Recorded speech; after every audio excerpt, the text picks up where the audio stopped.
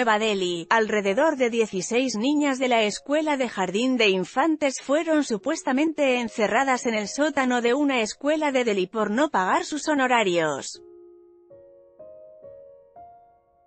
También puedes leer, lo acusan de alimentar a perro con una tortuga frente a alumnos Los padres de los estudiantes de la escuela pública Rabea Girls en Hauskazi alegan que los niños fueron confinados en el sótano de las 7 y 30 de la mañana hasta alrededor de las 12 y 30 de la noche en condiciones de calor extremo.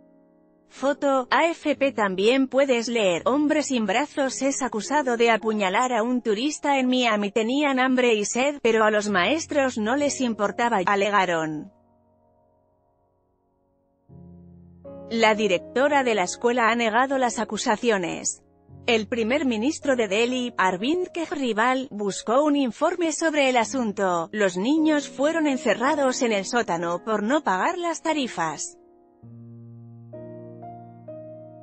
Había aprobado las tarifas, a pesar de que mi hijo fue castigado, dijo Ziaudedin, uno de los padres.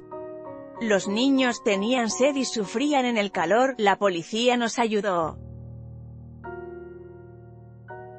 Incluso después de mostrar la prueba de la liquidación de las tarifas, el director no se disculpó ni se arrepintió. Otro padre, Muhammad Khalid, dijo, si no se eliminan las tarifas, ¿por qué castigas a los niños? Las chicas lloraban constantemente.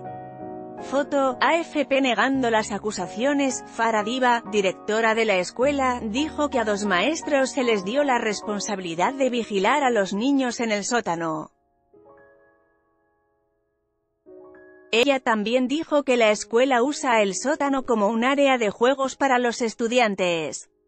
El sótano es donde juegan los niños, había dos maestros vigilándolos, normalmente se sientan en el suelo y el ventilador fue a reparar ese día. Las acusaciones son falsas, dijo la señora. Diva, se ha registrado un caso contra las autoridades escolares, dijo la policía, hemos registrado un caso bajo la sección 75 de la Ley de Justicia Juvenil. Estamos investigando el asunto, dijo la policía a la agencia de noticias ANI. En esta nota, hecho en India escuela encierra sótano niñas 5 años pago.